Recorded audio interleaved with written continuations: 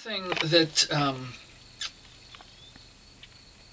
the other thing that is a danger. So this is a free closed lending library without a librarian. There's not anybody here checking it out. It's open all the 24 hours. You can come up. You can get what you want. Take it away. Nobody knows what people are doing up here.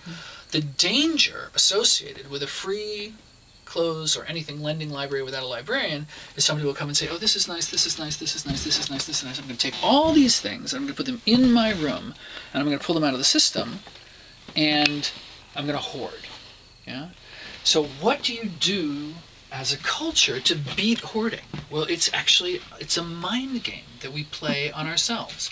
We have people who work in the it's not just the laundry and putting things up. We have people who go out into the world, they look for nice, used, cheap and free things and they bring them back and they don't just bring them back, but they display prominently the things that they think are nicest.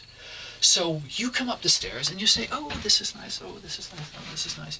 There's always nice things in commie clothes. I don't have to hoard the stuff because They have something because there's always There's something always something up- up- there. Mm-hmm. there's always something here that's nice. So they make sure that the quality is maintained at a level that will keep people coming back as return shoppers using the space rather than hoarding stuff in their own. Now, what about children? I mean, is it the same way for children's clothes There's a here, or is there a whole different system whole different for parents kids who have? Yeah, Uh, no, the kids because there can could be a penalty things. there if you have to have you know, clothe your own kids and pay for that laundry, which is different from being able to use. Commie, there's a kids commie clothes. There's a whole there's a parallel institution that has things because there are much more sizes for kids, and most of the adults don't wear their kids' sizes. So it's just in a different It's, place. and it's a different building. Perfect. And, and, Okay. uh, and there is a whole kids commie clothes thing as well, and so you can, as parents, you can Mm-hmm. throw your kids' collective laundry into the collective laundry, or if you really like the piece, you can hold on to. and it And what did you call it? Commie clothes. Commie clothes. You do call com- it commie clothes. Commie clothes. Okay. Yeah.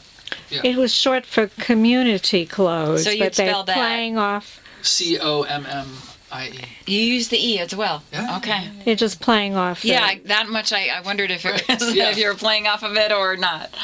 Yeah, I mean, you know, Twin Oaks is a different kind of economic model than the mainstream, right? Our Mm-hmm. commitment is that we're going to take all of the money that comes from our businesses, we're going to pool it all together, and we're going to figure out how to equally divide it out in services and goods to the people Mm-hmm. who are here. And people have very low allowance. It's like eighty-two dollars a month, Month, is yeah. what is what you get, or eighty-four, I guess it was what you get for for living here. But the average person who lives here gets no bills. Yeah, see, it's gone up since some, when, a few years ago when I was here. Then I think it was seventy something. Then yeah, seventy-two 70 maybe. It was seventy-two for a long time. Yeah, yeah, I remember that. Thinking, wow, could I do that? Well, could you do it if you didn't get any bills? well, That's yeah, I suppose, yeah. But I mean, like personal. Uh, somebody who has a personal habit uh, that no one else has, or like that, book buying and uh, craft and craft smoking and Smoking. things like that. I mean, that's, Lots of people stop smoking here, B- and, and, the, Ah. and the cost is is definitely a piece of it. And the community will pay for stuff to help you quit smoking, but the community doesn't prohibit smokers. No. So Twin Oaks, this is an important point, is that Twin Oaks is what's called an embrace diversity community, Hmm. and what that means is I'm not saying to you you have to be vegetarian, and I'm not saying to you that you have to stop smoking cigarettes, and I'm not saying to you you have to send your kids to homeschooling, and I'm not saying to you uh, you have to use this birth control or whatever. We, as much as possible, we avoid telling our members what it is that they do to maximize the amount of autonomy and freedom that they have.